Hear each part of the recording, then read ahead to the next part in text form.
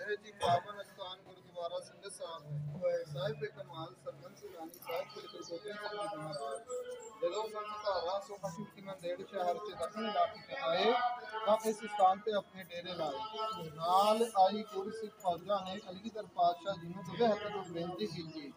ਦਸ਼ਮੇਸ਼ ਪਿਤਾ ਜੀ ਸਾਡਾ ਸਾਰਾ ਪਰਿਵਾਰ ਪਿੱਛੇ ਮੁੜ ਪੰਜਾਬ ਦੇਸ਼ ਰਹਿ ਗਿਆ। ਅਸੀਂ ਦੱਖਣ ਇਲਾਕੇ ਚੋਂ ਮੁੜ ਆਪਣੇ ਦੇਸ਼ ਪੰਜਾਬ ਜਾਣਾ ਸਾਨੂੰ ਜਾਣ ਵਾਸਤੇ ਮਾਂ ਦੀ ਲੋੜ ਹੈ, ਸਾਨੂੰ ਤਨਖਾਹ ਮਾਂ ਦੀ ਦਾਤ ਬਖਸ਼ਿਸ਼ ਕਰੋ।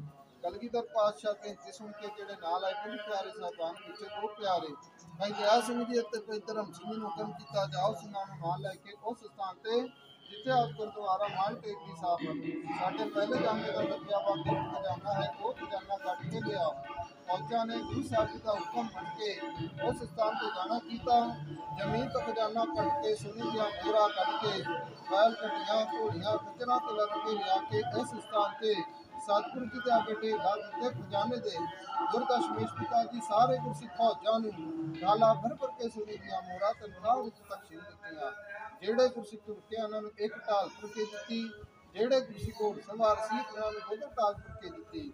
ਜਿਸ ਤਰ੍ਹਾਂ ਕਲਜੀਧਰ ਪਾਤਸ਼ਾਹ ਆਪਣੇ ਗੁਰਸਿੱਖ ਫੌਜ ਨੂੰ ਸੋਨੇ ਦੇ ਮੋਹਰਾਂ ਹੁੰਦੀਆਂ, ਜਿਹੜੀ ਨਾਲ ਆਈ ਸੀ ਬਹਾਦਰ ਸ਼ਾਹ ਰਾਜਾ ਮੁਗਲ ਸ਼ਾਹ ਦੇ ਫੌਜਾਂ ਨੂੰ ਵੀ ਵੰਡਿਆ ਹੋਰ ਬਾਕੀ ਜਿਹੜਾ ਖਜ਼ਾਨਾ ਵੱਧ ਗਿਆ ਸੀ, ਫੌਜਾਂ ਨੇ ਲਿਆ ਕੇ ਗੁਰੂ ਸਾਹਿਬ ਜੀ ਦਾ ਹੁਕਮ ਮੰਨ ਕੇ ਫਿਰ ਉਸ ਸਥਾਨ ਤੇ ਦਾ ਮਾਲ ਟੇਕ ਦੀ ਬਲਤਾ ਜਿਸ ਦਾ ਨਾਲ ਦਸ਼ਮੇਸ਼ ਪਿਤਾ ਜੀ ਨੇ ਤਨਖਾਹਾਂ ਮਿਲਿਆ ਉਹ ਡਾਲ ਅੰਦਰ ਸ਼ੀਸ਼ੇ ਵਿੱਚ ਲੱਗੀ ਹੈ।